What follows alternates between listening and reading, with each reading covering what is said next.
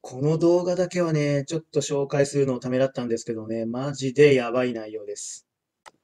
皆さんこんにちは。自由と希望が見つかる新世界チャンネルの平野です。このチャンネルの目的は、新しい世界を切り開くのに役立つ有益な情報発信をしている YouTuber を紹介することです。当チャンネルをきっかけに有益な情報がどんどんと広がり、誰かの新世界の発見に貢献できればとても嬉しいです。ぜひ動画が良いと思ったら、チャンネル登録、またはいいねやシェアのご協力をお願いいたします。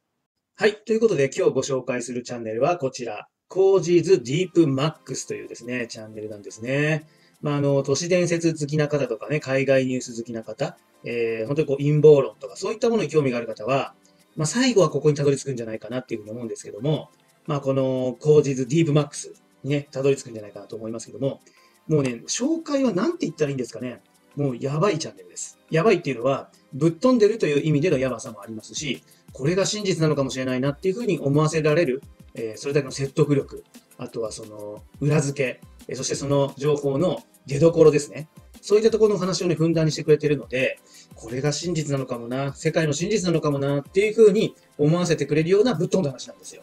まあ、あの、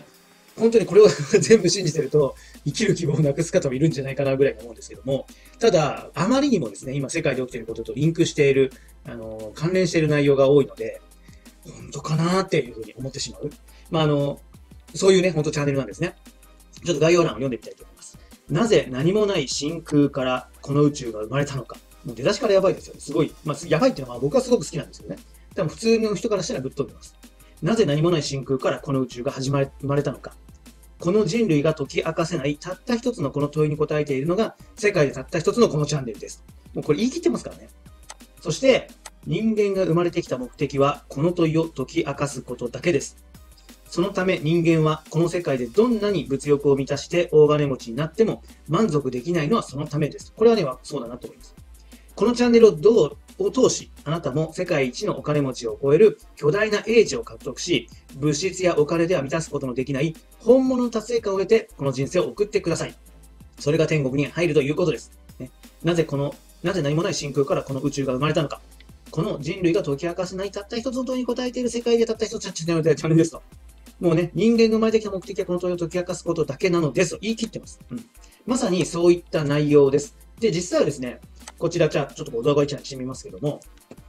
扱っているネタは、まあ、割とこう時事ネタだとか、まあ、今のこうトレンドに乗るような情報も結構多いんですけども、本当にこの方がですね、言いたいのは、セカンドチャンネルなんですね。で、ちょいちょいですね、動画の中でセカンドチャンネルのことを言ってくれてますし、動画の最後のエンドカード、エンドロールでもですね、セカンドチャンネルの情報を出してますけども、セカンドチャンネルの方はちょっと僕の方では紹介できないです。この動画を見て興味がある方は、ぜひね、セカンドチャンネルも見てください。本当にこれが、まあ、人間の魂として生まれてきた意味とか目的っていうものを説いておられていて、まあ、今回のこの紹介している YouTube よりももっと、まあ、奥深いというか、ぶっ飛んでるというか、スピリチュアルというか、うん、霊的な世界というか、そういったところの話が多いです。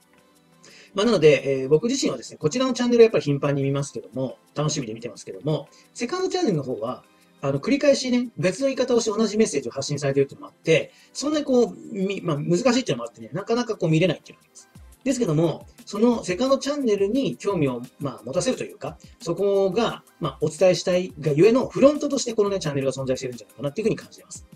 で結構ですね、まあ、あの、言葉の選び方も乱暴な部分があったりしますので、まあ、聞いていて気持ちよかったりします。バッサリ切るというか、人を馬鹿にするというか、あの、そういうところもね、実際、まあ、物申す系 YouTuber 的な立場もあって、すごく面白いですね。で、あの、ちょっといろいろ言いましたけども、僕はですね、本当にこの DeepMax のチャンネルを応援してますし、すごく好きです。で、内容は100%信じれるかっていうとそうではない部分がありますけども、そうなのかもしれないなっていうふうに感じさせるだけの、えー、その、エビデンスというかね、引用元っていうものがありますので、まあ、やっぱり心のどこかには、このディープマックス言ってることを、こう、心の中止めておいて生活している自分がいるなっていうのを感じます。はい。もうあとはね、見てるのが楽しみです。で、実際動画を開くと、本当にあの、スマートフォンでですね、40、あ、ちょっとごめんなさい、CM が入っちゃいましたけども、あの、スマートフォンで撮って、ほとんどまあ編集もしない、